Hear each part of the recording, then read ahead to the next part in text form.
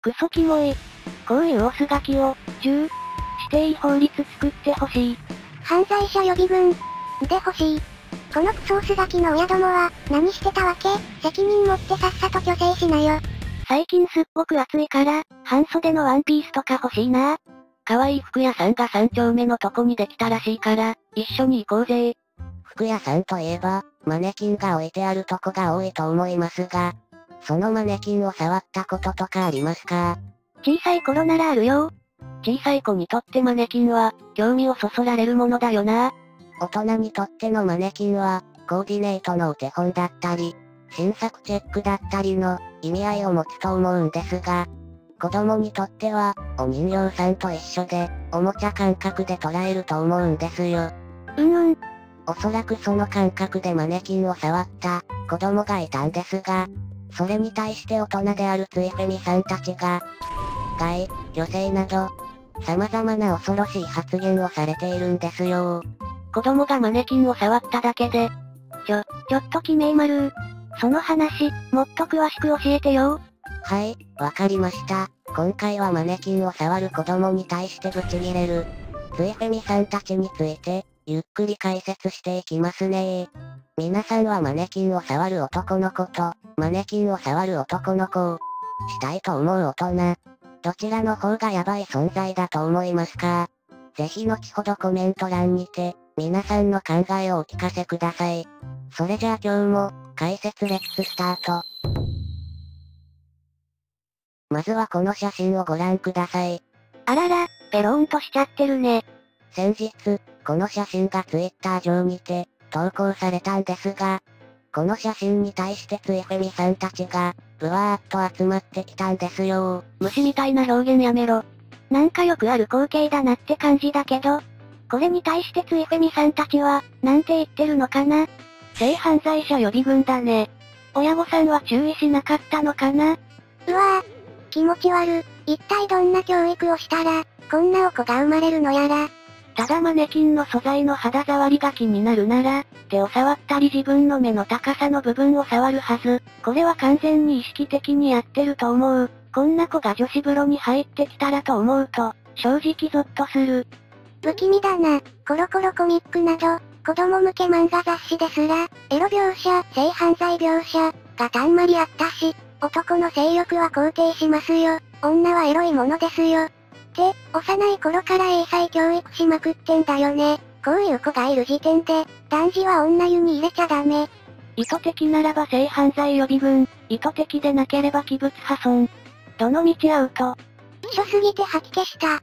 こういうモンスターが同級生の、女児の股をかきむしって、血まみれにする事件を起こしている現実。子供でもこれはアウト。女湯に男児を入れることで、女性が被る尊厳の侵害についても、再考してもらいたいです。男女7歳にして席を同住せずと言いますが、何歳でも関係ない。男児には性欲なんてないから、女湯に入れたとしても、女性の裸に興味なんて持ちません。何の心配もないですよ。とか主張してた人、どう思う？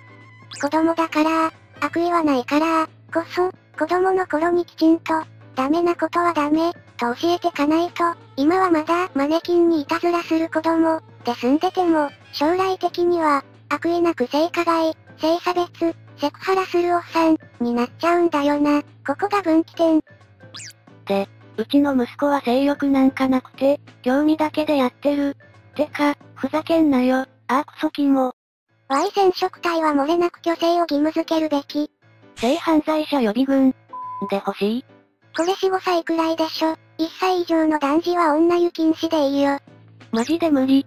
キモい。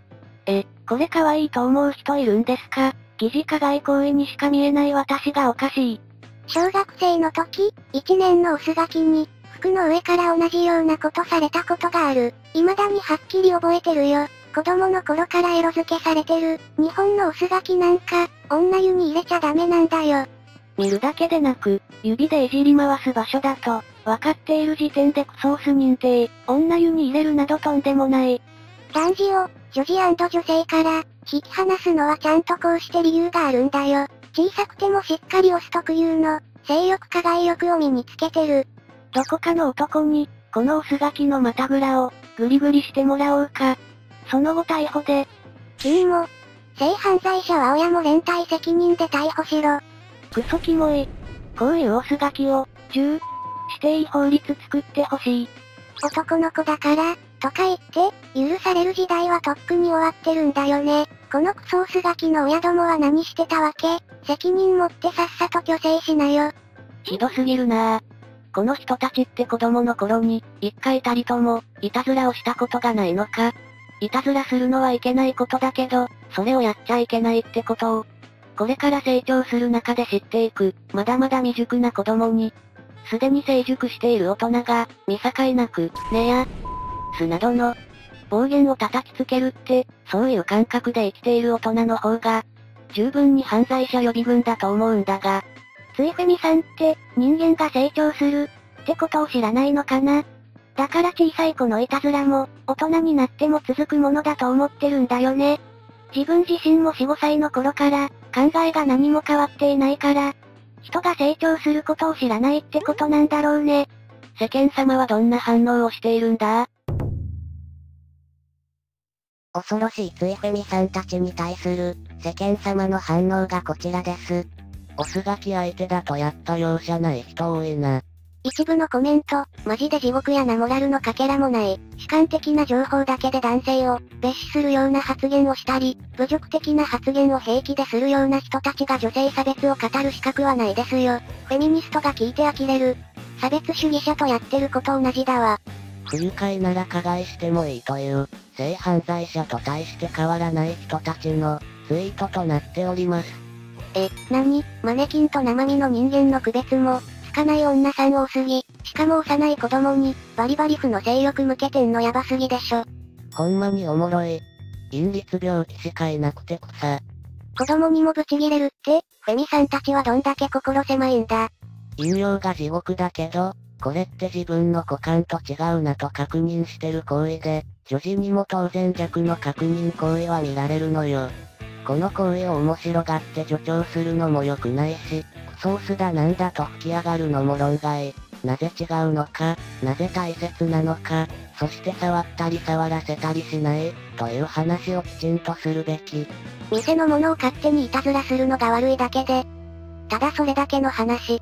引用でキレてるおばさんたち、よくキッズ相手にマジになれるよな。こういう年の子にも、大人と同様の分別を求める人種って、幼少期に子供として、大切にされていなかったんだろうな。子供扱いとは違う。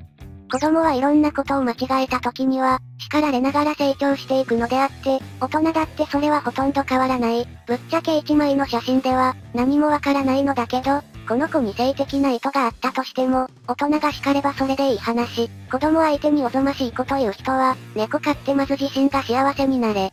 これはガキがどうとか言ってる。とおかしい人いるけどガキ以前に、親が教えをしっかりしていないことなどについて、触れるべき点だと思います。このガキおもろい最高だわ。これ、女児が男性型のマネキンをいじってたら、全然違う反応だったんだろうな。障害児や問題児を虚勢するというのは、昔の日本で実際に行われていました。優生保護法と言います。限界右翼なんかは、優生保護法を復活させるべきと言っているが、ついフェミはいつから、右翼みてえなことを言い出すようになったんだろう。単純に小児科学性が強すぎて怖くなる。自分が家庭を持ち、子を授かる可能性を、完全否定している前提じゃないと成り立たん。子供のいたずらは処刑ってどんな倫理観なんだ。表でそんなこと言えるわけないから、ネット弁慶なんだろうけど、万が一知人にあんなツイートバレたら、どうする気なんだろう。陰律にフェミクソほど湧いてて草、性犯罪者予備軍、でとか言ってるやつが、犯罪者予備軍。フェミニストさん、子供相手に向きになりすぎ。フェミってそのうち人、思想。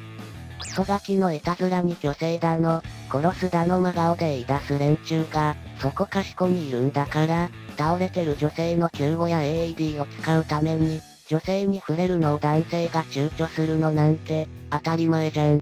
これに文句言ってるフェミさんは、自分の息子が性欲持ち始めたら、なんて言うんだろうね。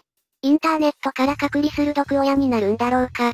陰律で子供に、ね、とか言える感性が信じられんわ。ツイフェミさんかわいい。グリグリしてあげたい。グリグリー。ツイフェミさんには頭グリグリして、目を覚まさせてあげた方が良さそうだな。中には決定的証拠を載せている人もいたので、紹介すると、こんなことで脊椎反射で、去勢だ銃だってわめく人たちに捧ぐ。またフェミたちが、お、き、ね、と、騒ぐのでしょうが、女児もこういうことします。あれれこれフェミさん理論だと、男の子だけじゃなくて、女の子にも適用されちゃうし、なんなら、大人の女の人にも、適用されちゃうんだけど、大丈夫かな？男女関係なく、子供のうちは、いたずらで、何でもやっちゃうから、それを親が責任を持って教育しないといけないだけで、子供たちがそんなに責められる理由がないんだよな視聴者のみんなは今回の動画について、どう思ったかな？みんなの感想をコメント欄で私たちにバンバン聞かせてちょうだい。今回の動画が良かったら高評価、良くないと思ったら低評価を押してくれだぜ。